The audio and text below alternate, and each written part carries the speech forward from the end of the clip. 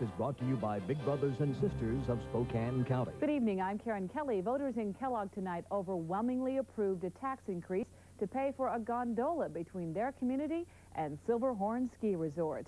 And Senator Brock Adams says allegations he sexually assaulted a woman in his Washington home last year are absolutely false. The allegations are coming from a 26-year-old family friend, and police have refused to prosecute. Now this. You'd like to find the answers to life's more important questions. Be a big brother. Are you still as fast as you were last week? It'll make a man out of him and a boy out of you. Highlights of the U.S.-Soviet basketball battle and the up-to-the-minute forecast tonight on News 4 at 11. Sigourney Weaver on the next USA Today. And now we continue with Stand By Me.